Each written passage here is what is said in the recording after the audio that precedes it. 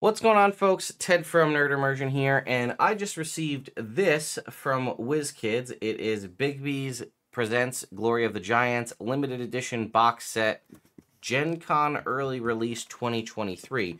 So I assume if you're going to be at Gen Con, you'll be able to pick these up there, which is pretty exciting. Normally, there's a pretty long lead time, or I guess long is a relative term, but couple month lead time after a new book drops before you're able to get the miniatures associated with them.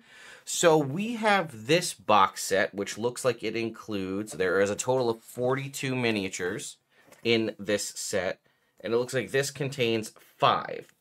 Uh, five collectible miniatures with exclusive paint schemes inside. This is the limited edition box set. So I wonder if the ones the paint job you get in here or potentially at Gen Con are unique to the ones you'll be able to get in the generic booster boxes. Now, some things that I'll show you that I think of interest are we do have some interesting creatures here on the back. As to be expected, we have a variety of giants, right? You would imagine so. Uh, some of the things we've already heard of and were revealed in the various videos that I've covered. And I'm looking up one just to make sure because I can't remember if it exists in canon here in Dungeons and Dragons, and if not, I'm very excited for it. So, okay. We have um again, there are some dinosaurs. We knew that there were going to be unique dinosaurs. I'm very excited because Dilophosaurus is now officially coming as a canonical monster uh, in Dungeons and Dragons, which we have not had. It also looks like, although not paleontologically accurate, uh, this one does have a frill, so it looks like we're going Jurassic Park style with the venom spitting and the frill, which is exciting. Uh, we have Deinonychus, giant poisonous snake. We've heard about giant ticks before. Now, here's the thing there are some unique sort of NPCs on here that I find interesting. One of them being Elf Druid Circle of the Primeval. Now, if you recall, the giant based uh, barbarian and the Circle of the Primeval Druid appeared in the same Unearthed Arcana, and we know for a fact that only one subclass is coming to us in Bigby's Glory of the Giants, and that is the Giant Barbarian. Meaning the Circle of the Primeval Druid was cut. Now, here's the question that I have Does that mean that these miniatures were put into production before the final book was created? Are there Circle of the Primeval Druids in the book as NPCs, as one of those monsters that they have? Or could Circle of the Primeval Druid be appearing at some point in a future book and we just don't know about it yet? We also see some other unique creatures here Goliath Frost Rager, Goliath Giantkin, Firbolg Primeval Warden, Tiefling Fury of the Frost Giant, Fire Rune Goliath. A lot of really interesting kind of things here on the back. You can get a little bit of a look here. I'll show you some of the various creatures. I assume that all of these, there are 42 here, so there may be more contained in the actual book itself, uh, or variations upon them. But there are a variety of unique creatures on the back here. There are also some on the side. See giant lynx there as well again, me personally, I'm almost more excited for the NPCs and like the beasts than I am for the giants themselves. But either way, uh, I've got my miniature cam set up, so we'll bring it in close. But I also see things like orcs, some unique looking bugbears, and hobgoblins. So a lot of interesting stuff. We also have Bigby himself. We're gonna go ahead and open this up. Okay. So, this particular package, we've got three giants. We also have two. Oh, boy. oh, that is a strong smell. Ooh, this packing tape. This is this is powerful stuff. Ooh. And then we have these two sort of brown paper packages, which I assume contain more. Uh, probably just two miniatures, but it looks like from the bat we have a Frostmourn a fire hellion, and a stone giant of evil earth.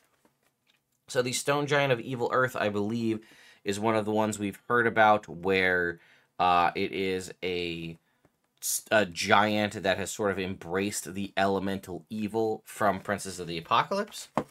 So I'm going to go ahead and see how we, I think this inside inner box just kind of lifts out here. Yep, okay, that comes out.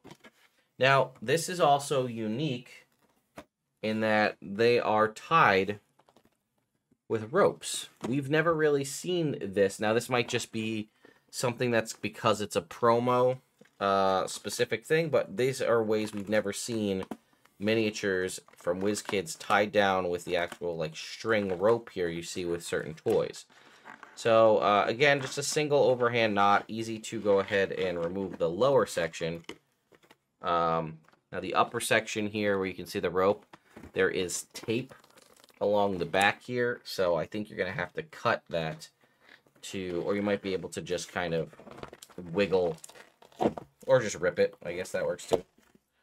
Uh, but they are still tied in the back. So if you want to get the, oh man, that packing tape is strong. Let me tell you. I know you guys can't smell it, but like oh man, it is a lot. I'll, I'll tell you that. All right, I don't, did I not leave my scissors in here? No. All right, well, we're going to work our way through this and we'll get to the unboxing here. But while I'm doing this, let me ask you, what are your thoughts on these sort of like Circle of the Primeval Druid?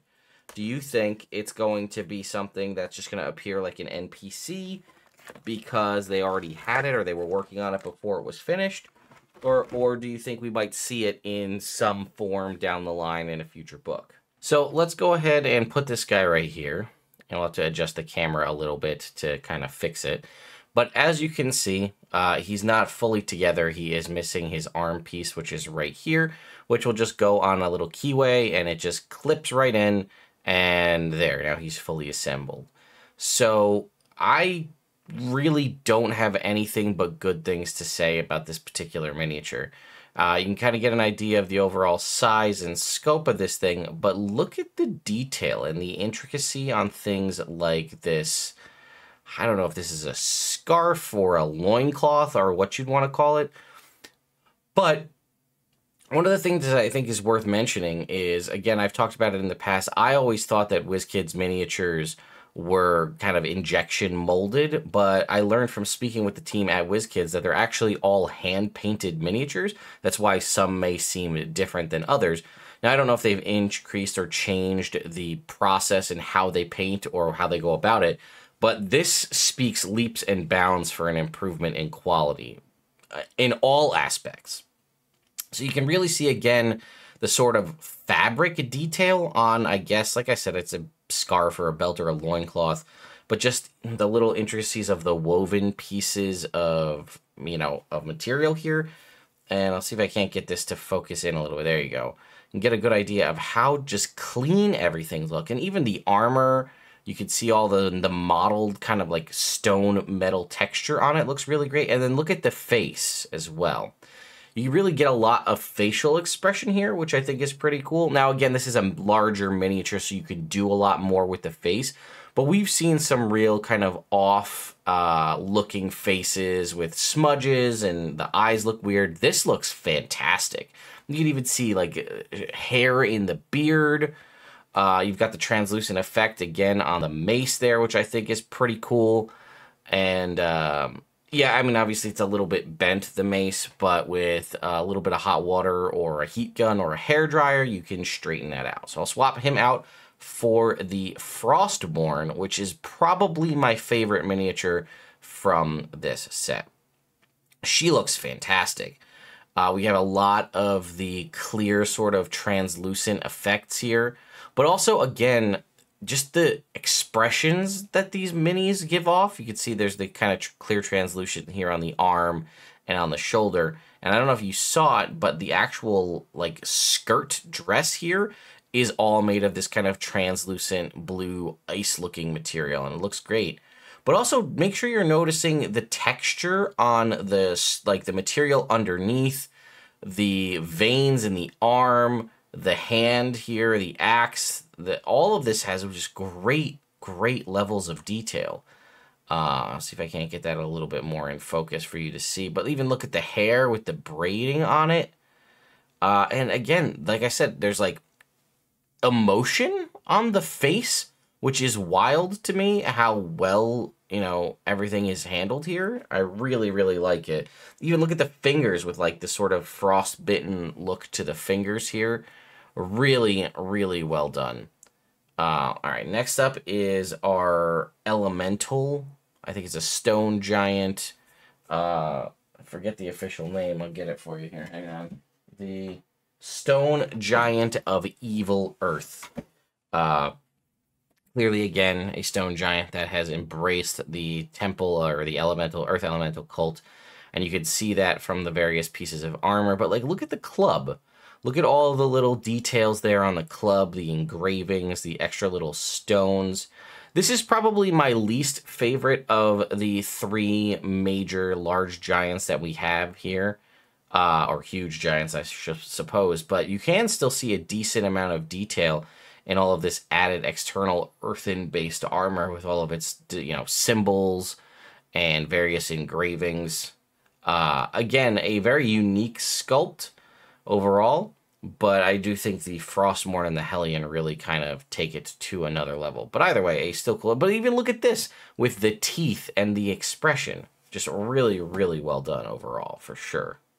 I do have two of these sort of brown paper bags. Now, again, I don't know if if you were to get this at Gen Con, if the same miniatures, it's the same five or that's it's just like a random thing. So we're going to go ahead and open this brown paper bag. I'm hoping one of these, I'm assuming, is Bigby, if it is like a curated set.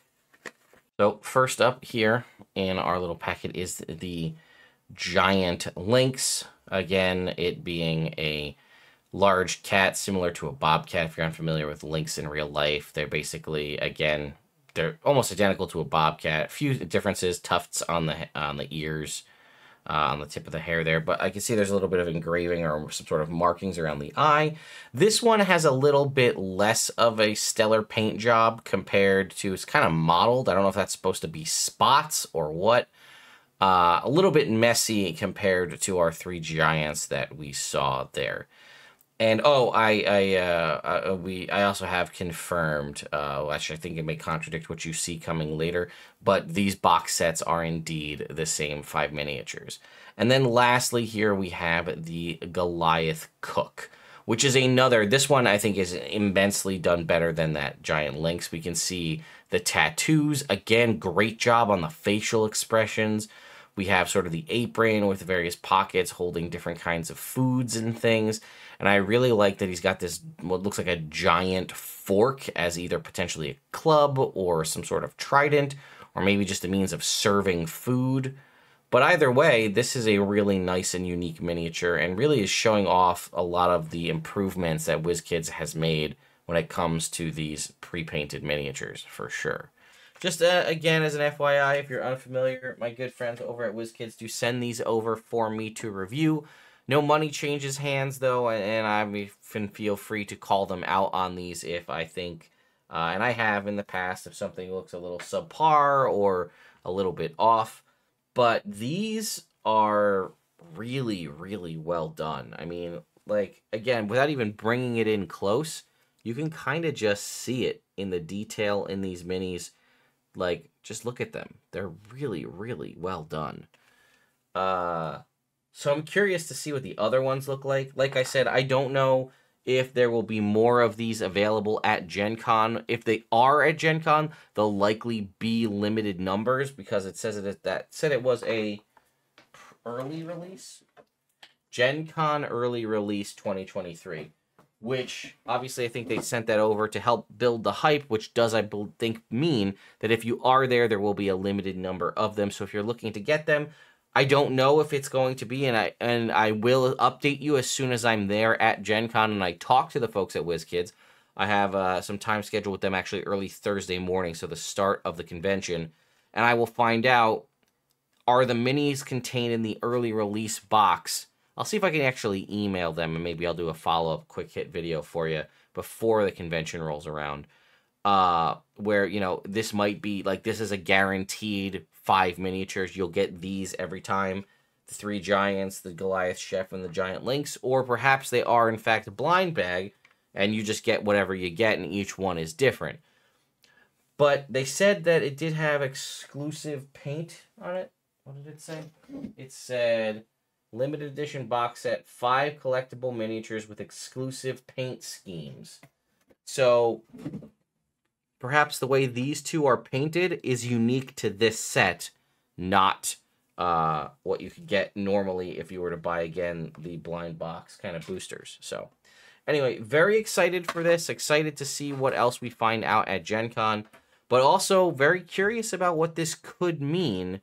I'll take a picture of the back of that box and I'll upload it here to the community tab as well as on social media for those of you who are curious if you want to take a closer look and see if you can't find anything else out that's interesting from what's on those miniatures coming out on this set. So thank you all so much for watching, and I'll see you next time.